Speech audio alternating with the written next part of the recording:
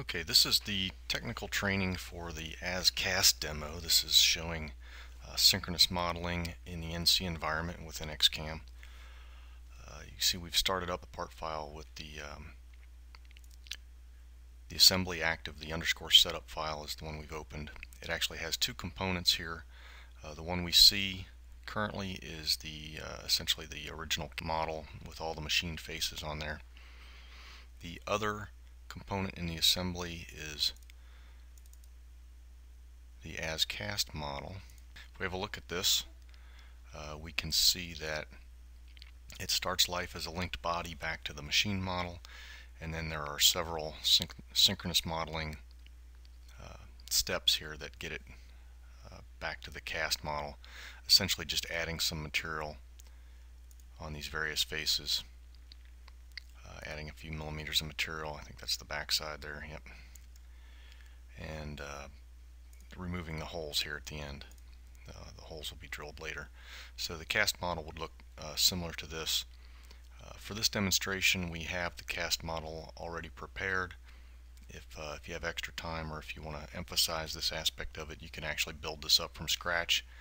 Uh, just kind of unwind these features and it's not too hard to figure out. Uh, at the beginning of the demonstration we, we visit here briefly just to show off the ASCAST model. And then we uh, return to the to the machine model to go through an associativity exercise. So back to the machine model.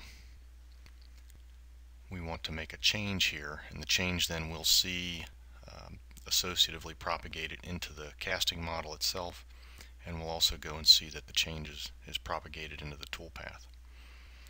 Uh, the change we want to make here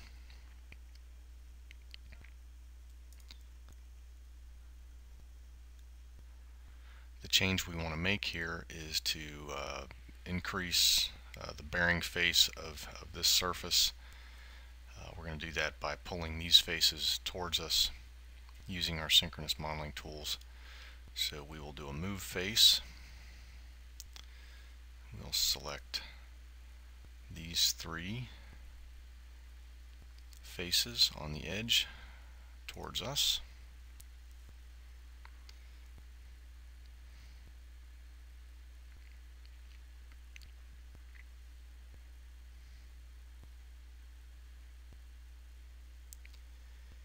And we'll move them at an angle about this vector and we can spin it around here by its handle. 10 degrees is where we will settle.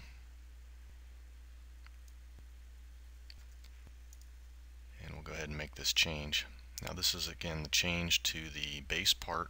We have an associative casting model uh, developed from a linked body and we have toolpath that we're going to update as well. So this is the associativity portion of the demonstration. You can see if we look from the top, we've moved this around 10 degrees from about this location to about this location uh, right where the web is for visual reference if you need that.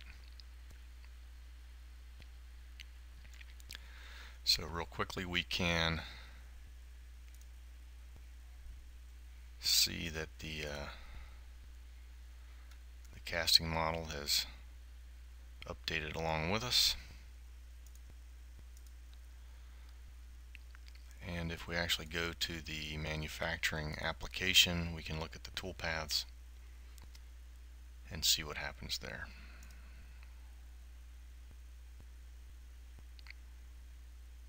So in the, what happened there was in the manufacturing application this setup is the work part.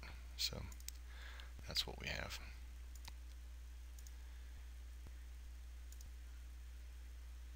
And then if we look at our operation, we can see that it is actually out of date. So we will regenerate it. But before we do that, we should replay it just so that we can see what it is. And you can see that it, the toolpaths are lined up with what the, uh, the previous surface looked like before we made our change. So the toolpath is out of date for that reason and we can generate it to see the update. Now because of the geometry change that we made, this update will take uh, a little bit in excess of 30 seconds on my computer, um, something along those lines. Uh, this is a fine opportunity to talk about the benefits of associativity. Force the idea that associativity is uh, kind of a foundation to uh, to the NX application and to the PLM process in general. And lots of goodness comes from associativity. Uh, we've seen the associativity to the uh, to the casting model, and we can see it here in the toolpath as well.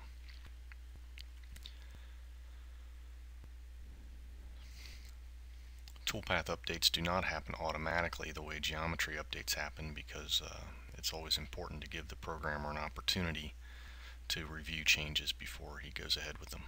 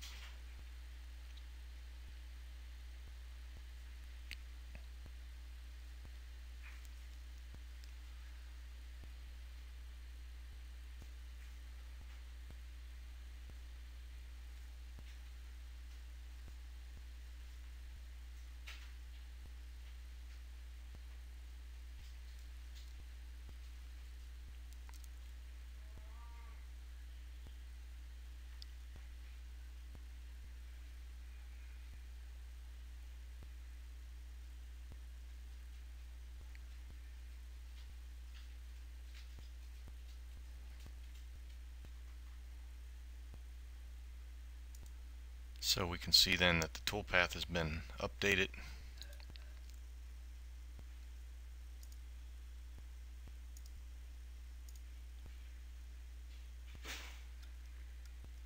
to suit the new geometry and we can carry on looking at the at the next piece of this demonstration.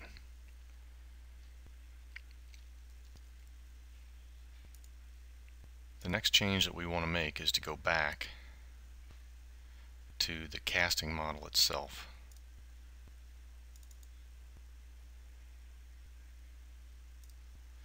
and look at this last offset region. So we're going to change this uh, this particular offset in our casting model the story is for this demonstration that uh, these faces are important to the function of this gearbox. That's the reason we made the initial change here. Uh, the bearing face has been increased. Uh, it's an important face and we have to machine this precisely. Um, because it's a big chunk on the casting, this is a place where we often see variation in the casting. So we're going to uh, go back and, and uh, describe that now. So uh, simply by opening up this synchronous feature, we can change the amount of material on this face.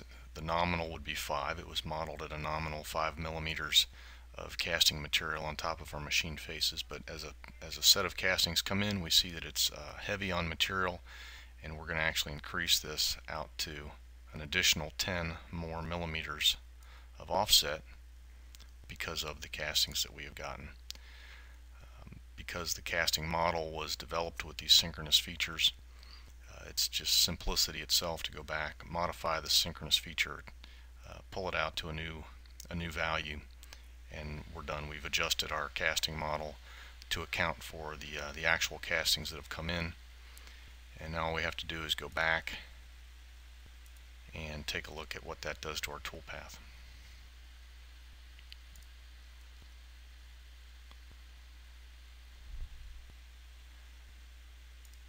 Can actually change our display part back to the original part itself so we can see the toolpath a little better. And I think we're going to look at this in the program order view. That's a little nicer. And we'll generate this one more time. We can see that it's out of date again. It's out of date because the uh, the casting model has changed. We're using we're using that casting model as the blank for this operation which is why the, uh, the toolpath is sensitive to that stock amount.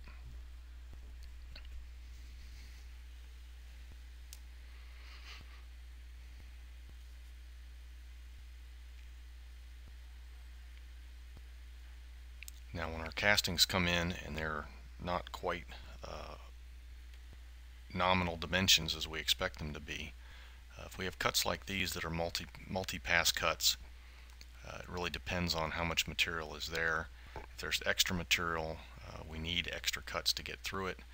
Um, if they actually come in a little bit below nominal but still usable, then we'd like to be able to actually reduce the amount of cutting that we do uh, if we can. So just in the interest of efficiency and effectiveness, we can uh, we can inspect our castings, uh, adjust our stock models, our casting models appropriately, and make sure that our toolpath is uh, is clearing all the material and not wasting any time. It makes it uh, makes the program run better on the machine, more effective, better productivity, all those good things.